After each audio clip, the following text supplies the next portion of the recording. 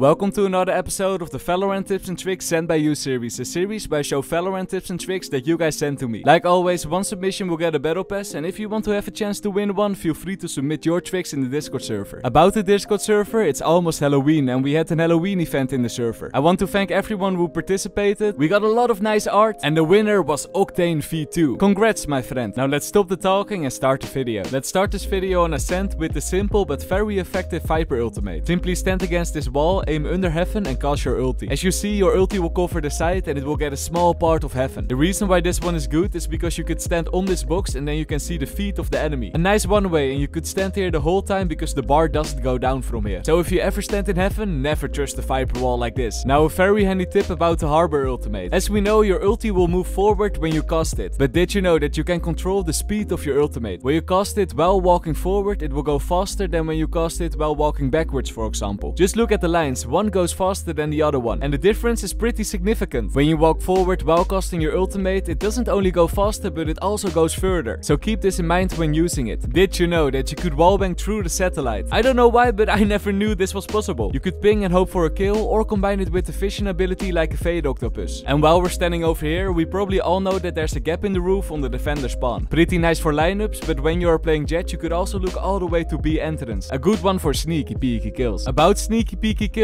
look at this clip from Tomato. Well done.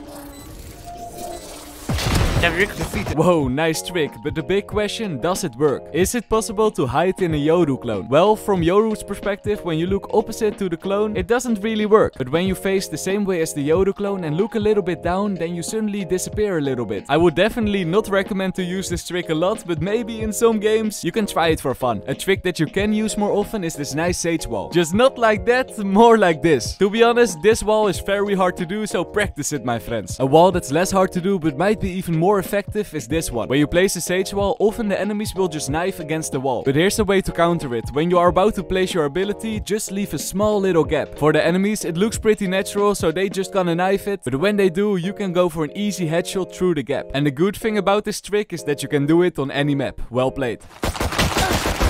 You fought well. Now a tip for all the Harbor players out there because I'm getting a lot of one-way smokes with Harbor lineups. But in my opinion, Harbor and one-way smokes don't really work together. The reason why one-way smokes are good is because when you see the legs of the enemies, you can shoot on the head. But with Harbor, of course, you can't do that because your smoke will block your bullets. So you need to control your recoil and aim at that small part over there. Probably not kill the enemies immediately and they have time to react. So be careful with one-way smokes and Harbor. Fun fact, did you know that you could create a one-way anywhere you go with Omen? Simply use your smoke just above the ground and then peek. It's a very good trick, my friends. I mean, look at Raven. Ooh, well played. And while we're talking about one ways, let's do one more. This one is for Cypher. Go to this corner, aim at the dark bricks, and aim up till you match with the top of the roof. When you throw your cage, it will land on this small spot and you will create a little one way. Just be careful, don't stand over here, stand as far away as possible, because otherwise the enemies will be able to see you. During this tips and tricks sent by you series, I got a feeling that I'm giving more tricks than tips. So here's a tip for once. When you are playing Omen and you're about to cast your smoke, you can ping on the spot where your smoke is standing. It's a pretty handy feature to communicate with your teammates so they know exactly where you're gonna place your smokes. A thing you have to be careful of with Omen is that you cannot crouch while doing your shrouded steps. Also not your ultimate sadly. While on the other hand you have Cypher and he is able to crouch well in his camera. Perfect to go sneaky peeky like. Now let's do a Cypher fact. Did you know that you could activate your cage while in your camera? I don't know why but I didn't know that. I guess I don't play Cypher a lot. But you can do some cool tricks with this mechanic. On A side on Haven place your cage in this corner and when the barriers are going down use your cam in A short and place a trap. Why is this setup good? Well you can just chill in the corner, wait till the enemies push, activate your cage, and they most likely not gonna expect you there. And then it's time for a sneaky peeky tech and kill the enemies. A lot of people were sending this trick in, but I actually saw it in a video from Acrid the dog. So credits to him. Also, well played Tomush. Trail. Yes.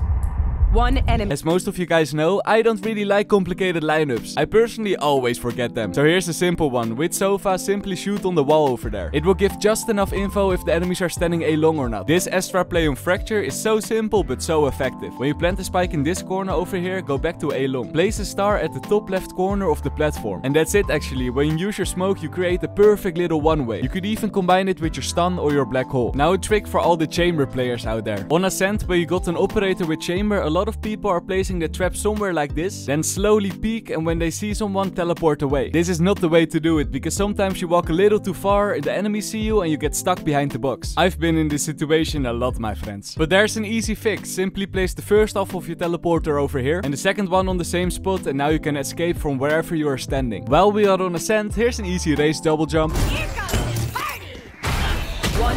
Remaining. Ooh, very good. Let's do another trick on Ascent, this time for Yoru. Stand against the boat, aim at the corner of the tile and place your clone down. The good thing about this clone is that when you activate it, it will stand still. This might fake enemies out. When they are peeking, they see Yoru standing still, so they might shoot it. And when they do that, you just fling from another side and easy peasy kills. Did you ever notice that when you are playing Viper on B, you could either wall B and hole A side, or B and hole C side, including garage. So big tip, when you are playing Viper, stand on B, and as soon as your teammates calling that they spot someone, then cast your wall towards that side. Now let's talk about the cool Sage mechanic. On most spots on the rafters on Icebox, your Sage slow will look something like this. It will not cover a lot, but if you hit your slow just right, then it will extend to the whole rafters and even a little bit outside rafters. An insane trick, and there's a lineup for this. Stand against the third line of this wall, and then match the arrow of your ability thing with the top of this pipe. It's very easy to do. I actually got this trick from How to Noodle, and he got it from Flatcore. So credits to those guys. And while we're on Icebox with Sage, did I ever show this wall over here? I'm really sorry, 35 episodes already. Sometimes I don't really remember if I showed a trick or not. Also, if you watch a lot of these episodes, feel free to subscribe. The goal is to get more subscribers to have funny and cute kitten cat. But anyway, it's a nice wall, so use it to kill enemies from an off angle. Just keep in mind you probably will get a little bit of fall damage when you jump down. It's time for another chamber trick. When you are pushing C from garage, place your teleporter behind this box over here and your trap in the corner. After that, plant where you normally would plant and go to C long. You're just in range for another teleporter,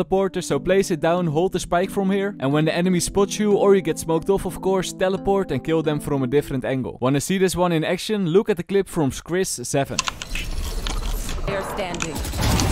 Easy peasy, 1 versus 4 my friend, very good job. Now a lineup for Fade. Stand in between these boxes over here, aim in between the iron things and do a jumping octopus throw. It will land exactly on the pillar and spots if enemies are on B long or not. Just remember to do things with the info. If it doesn't spot anyone, take the orb for example. If the enemies are pushing C on Haven a lot, you could use this wall to counter it. Go to these boxes, jump and use your ability. From here you could easily look all the way to the orb. However, this wall is very situational. One you could use more often is this one on Pearl. If you place your ability over here, you have a sneaky spot to kill the enemies. And when they want to push B, they have to destroy two wall segments. Especially good in eco rounds because destroying walls in eco rounds sucks. And while we're here, let's talk about an overpowered Viper setup. At the start of the round, stand in this corner and cast your wall so it goes through elbow. After that, stand on these boxes and match the arrow of your right click with the right corner of the roof. This lineup might sound a bit difficult, but it's actually pretty simple to remember. Your molly will land exactly on these boxes over here. So after you did this setup, go back to your team to be long and then you can simply plant the spike on the best spot possible. This setup is especially good for the post plant because in the post plant you have a nice little one way. And this is it my friends. I want to thank everyone for submitting their tricks. I hope you learned something and I see you guys in the next one. Peace.